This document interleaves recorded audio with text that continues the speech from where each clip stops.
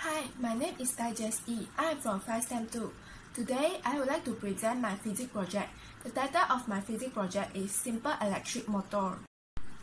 The objective of this product is to build a simple motor that able to operate continuously. The material needed for this project is a D battery, magnet wire, small neodymium magnet, two metal paper clips, SanDisk, tape, scissors, and marker. First, bend the paper clip to make support for the wire. Step 2. Tape the paper clip to the end of the battery.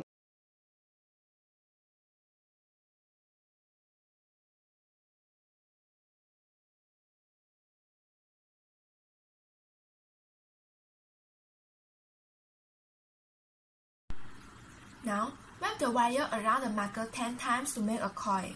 Next, cut the wire and leave about 3 cm of wire on each end. Loops the end around to make the coil hold its shape. Sand the insulation completely off one end of the wire and for the other end of the wire, sand only half the insulation. Now, place the wire into the paperclip supports.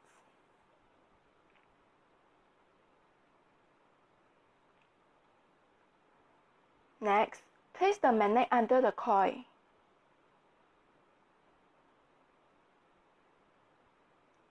Give it a push to get it started and watch it go.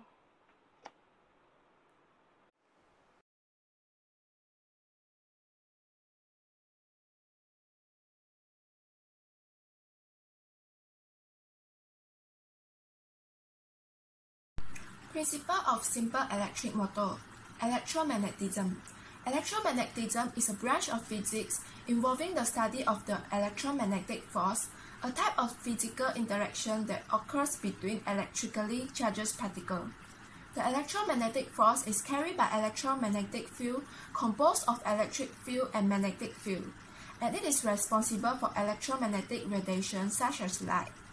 When a current-carrying conductor is in the magnetic field of a permanent magnet, the interaction between the two magnetic fields produces a force on the conductor, so the electric motor is able to operate. Fleming left-hand rule was originated by John Ambrose Fleming as a simple way of working out the direction of motion in an electric motor. When current flows through a conducting wire, and an external magnetic field is applied across that flow, the conducting wire experiences a force perpendicular both to that field and to the direction of the current flow. The thumb represents the direction of the charge on the conductor. The index finger represents the direction of the magnetic field and the middle finger represents the direction of the current. Now, let's talk about the impact of the product to our life.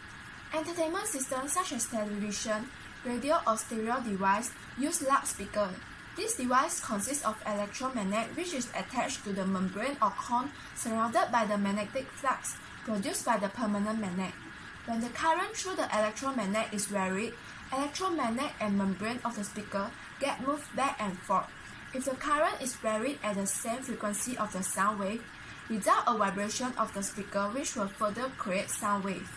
The loudspeaker follows this path because its motion obeys Fleming's left-hand rule. That's all for my presentation. Thank you.